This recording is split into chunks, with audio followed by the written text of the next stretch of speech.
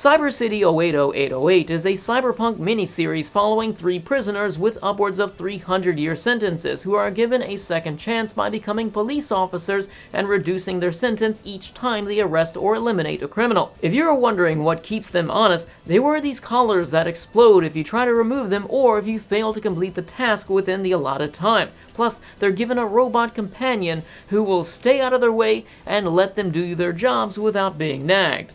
Right. I must inform you that what you are intending to do constitutes illegal entry. Look, just fuck off, will you? Fuck off. This is a phrase you frequently use erroneously. The colloquial word fuck meaning to copulate. These criminals are tasked with hunting down dangerous hackers, genetically mutated vampires, and superpowered psychic androids. But in order to get out alive, they'll have to put their differences aside and become an unstoppable, unified force.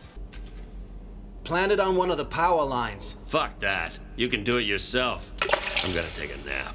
Or maybe they're going their own way and occasionally interacting with each other, which is probably for the best. I loved how Cyber City was set in the future but feels dirty, retro, and gritty. Everything here encapsulates the aesthetic of Western's 80s sci-fi action movies, including the cheesy one-liners. Just love roast pork! Don't try it. If it's not cooked properly, I hear pig can give you the shits. Hey, your friend seems to be losing his grip. The voice actors took a few liberties with the script, but in my opinion, this enhances the overall experience. I am arresting you for a whole host of shit I can't be bothered to list. You have the right to remain silent and so on. Its action was another high point, people jumping out of cars midair, fighting on collapsing towers, and even this dude, who reminds me of Ray from Fist of the North Star, how he slices everything up with his razor wire. The character designs were stylistically consistent with other old school Madhouse anime similar to Vampire Hunter D Bloodlust, Goku Midnight Eye, and Wicked City. This might just be me, but does Goggles over here look like Bebop from Ninja Turtles? Cyber City sported a brutalist approach to vehicles and architecture by focusing on function instead of form. Little in this anime appeared to be created for the sake of beauty, aside from maybe one woman.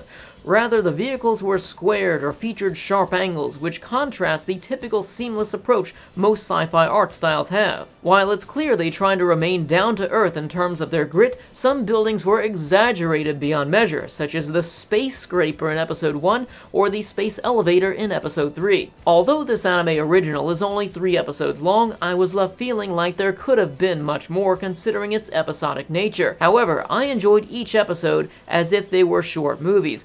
Each had its own unique threat, the action was always fulfilling, and the cheesy one-liners never stopped coming. You wouldn't recognize a goddamn vampire if one jumped up and bit you on the end of your fucking dick. Overall, I enjoyed Cyber City Oedo 808 and I recommend it to everyone who found this video entertaining. I give it a 7.5 out of 10. Although it was enjoyable in every aspect, it wasn't the best I've seen from Studio Madhouse from this era or of the genre. Still, it presents a unique experience that you're unlikely to find in other anime, especially if you grew up on old sci-fi B-movies back in the 80s or 90s. If you're looking for other dark Madhouse OVAs, I recommend my review of Bride of Deimos. It's easily one of the most over-engineered anime from its era, but nobody knows about it because it never saw the light of day beyond its VHS release. I've covered many Madhouse anime over the years, and I'm recommending this one for a reason. Check out my review. If you decide to check out Cyber City, come back and tell me what you think. If you enjoyed the review, hit the like button and share with a friend with a taste for 80s sci-fi action flicks.